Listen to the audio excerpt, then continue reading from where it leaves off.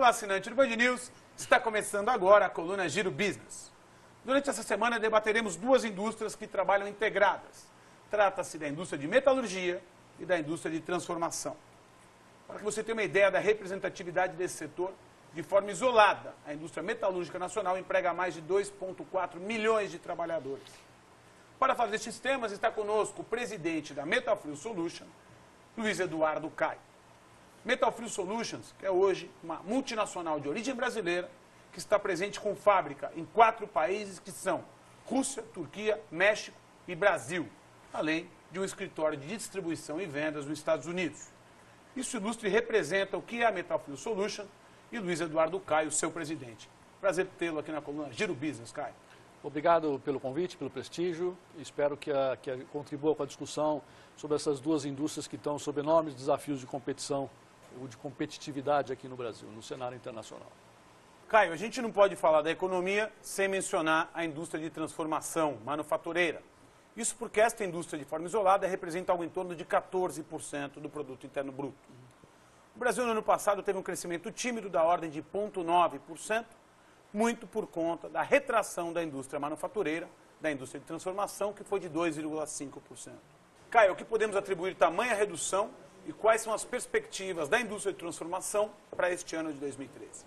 A indústria brasileira, a despeito da sua tradição, vive um momento de grandes desafios. A competição internacional, o Brasil é um país de mercado interno poderoso, que gera, ah, todo mundo fica atento às oportunidades de mercado aqui.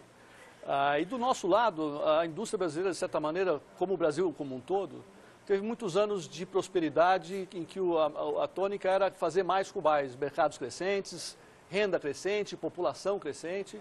O momento que nós estamos vivendo hoje é um pouco diferente, nós temos que fazer mais com menos, então buscar eficiência na cadeia como um todo, as cadeias produtivas, as cadeias de distribuição e assim por diante. E aí que a gente se depara com as, com as debilidades da cadeia no, do Brasil como um todo.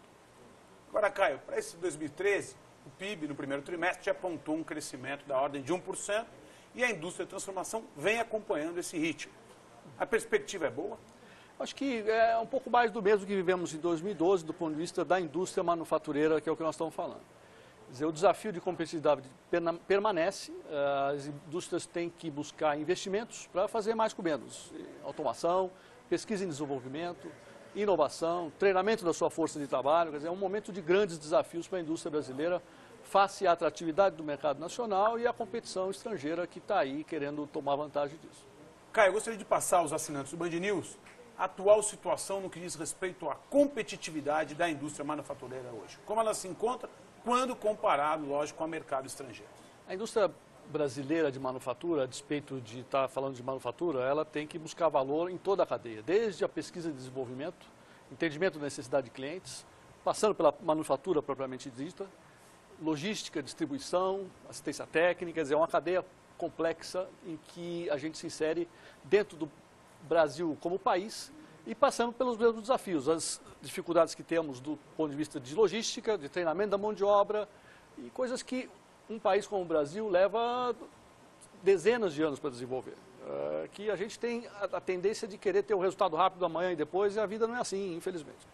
Caio, realmente uma situação que vem se dando não só para a indústria manufatureira, mas para as mais diversas indústrias que constituem a economia nacional, diminuindo sim a sua competitividade por esta falta de planejamento que se acaba de mencionar.